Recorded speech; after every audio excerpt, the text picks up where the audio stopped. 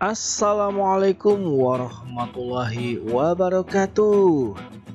Hai hai hai hai anak-anak semuanya. Apa kabar anak-anak hari ini? Semoga kita semua selalu dalam keadaan yang baik, sehat, dan tentunya bahagia. Berjumpa kembali bersama saya Kapten Indonesia. Ya, pada kesempatan kali ini, Kapten Indonesia kembali akan menemani anak-anak semua untuk belajar. Di kesempatan yang baik ini, Kapten Indonesia akan menemani anak-anak semua untuk kembali belajar di kelas 5. Tema 1 Subtema 1 dan kita sudah memasuki pembelajaran yang keenam atau yang terakhir di subtema 1. Nah, seperti biasanya, mari kita awali pembelajaran kali ini dengan berdoa. Tentunya agar diberikan kelancaran selama proses kita belajar dan kita juga mengharapkan ilmu yang bermanfaat sebagai bekal masa depan kita. Berdoa mulai. Berdoa selesai. Nah, anak-anak, hari ini kita akan belajar tentang beberapa materi. Di antaranya, kita akan belajar tentang membuat ide pokok yang berasal dari gambar cerita. Kemudian kita akan mengembangkannya menjadi sebuah teks cerita. Selain itu, kita juga akan belajar mengenai perbandingan antara hewan vertebrata dan avertebrata. Hmm, materi yang sungguh menarik.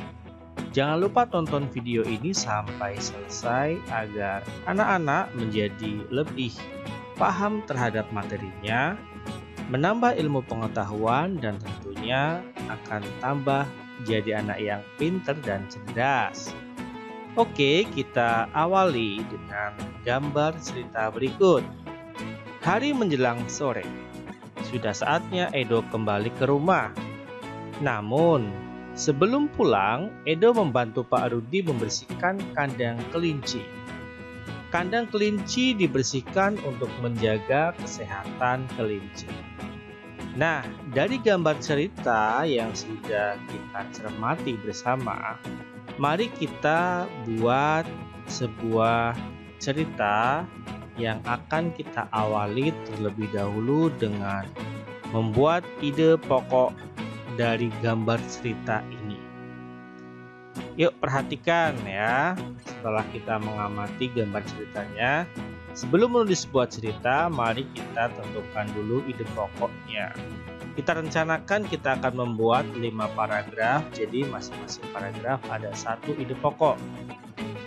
Ide pokok yang pertama, ini misalkan dari Kapten Indonesia, Edo berkunjung ke rumah Pak Rudi. Ide pokok paragraf yang kedua, kandang kelinci Pak Rudi terletak di belakang rumah. Ide pokok di paragraf yang ketiga, Edo membantu membersihkan kandang kelinci. Ide pokok paragraf yang keempat adalah Edo membersihkan sisa makanan kelinci. Sedangkan ide pokok di paragraf yang kelima adalah kandang kelinci yang bersih menjadikan kelinci sehat. Itu contoh ide pokok dari Kapten Indonesia.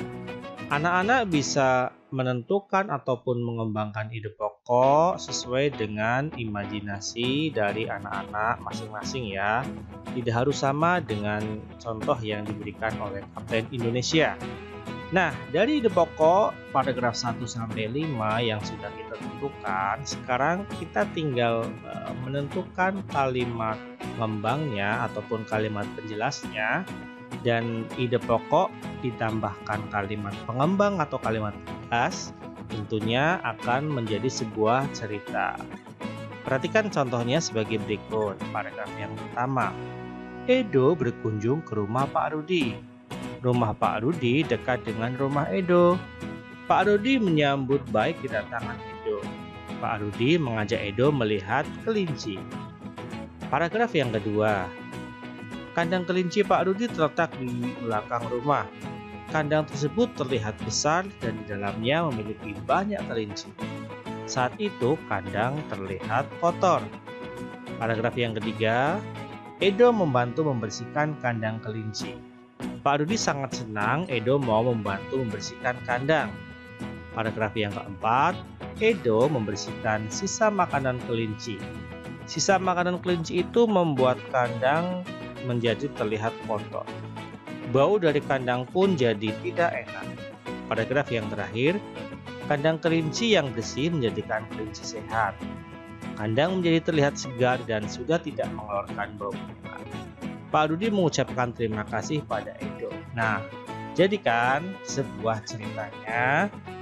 Nah, jadi Kapten simpulkan ya anak-anak untuk membuat sebuah cerita yang berasal atau bersumber dari gambar cerita, kita tentukan terlebih dahulu mau berapa paragraf yang akan kita buat.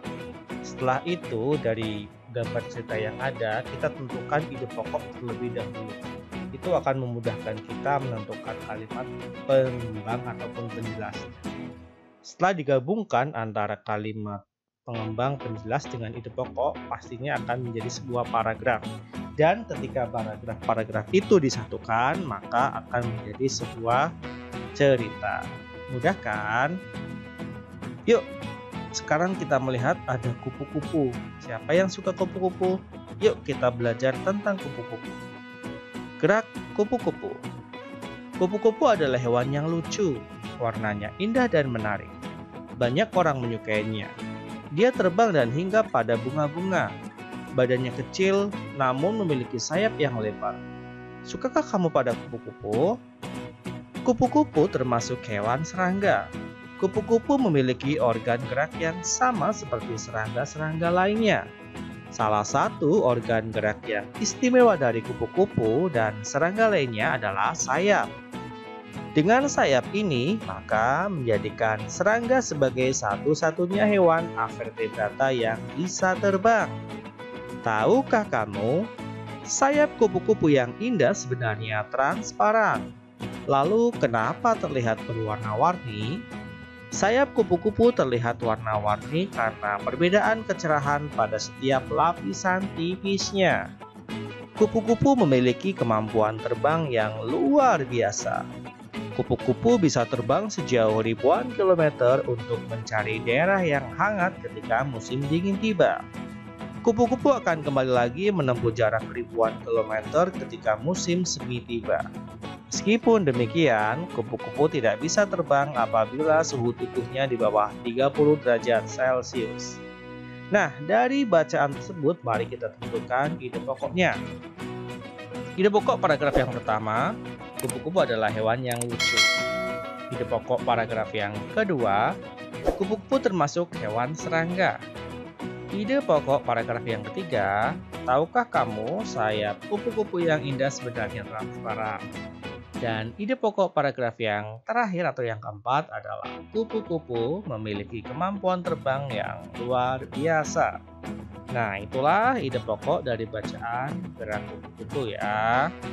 Nah, sekarang kita akan mencoba membandingkan antara hewan vertebrata dengan hewan avertebrata.